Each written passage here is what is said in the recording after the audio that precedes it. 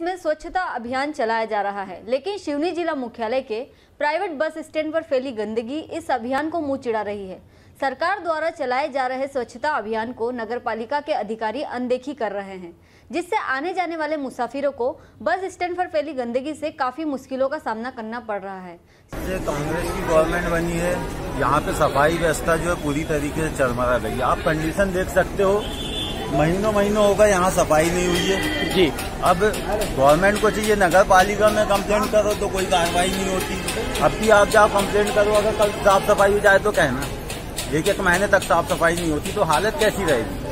तो आप- प्रदेश सरकार जिम्मेदार है जो नगर पालिका के ऊपर प्रेशर नहीं डालती कि आप भाई प्रदेश को साफ़ रखो। जी। मतलब प्रदेश सरकार जो स्वच्छता अभियान को चला रही है, उसको नगर पालिका के कर्मचारी पीता बनाए हुए रख रहे हैं। नगर पालिका के कर्मचारी कुछ करते नहीं, उनके पास कर्मचारी है भी कहाँ? और हैं जो तो हैं तो सुनते नहीं है। आप आपने जाकर कंप्लेंट करेंगे, कुछ नहीं।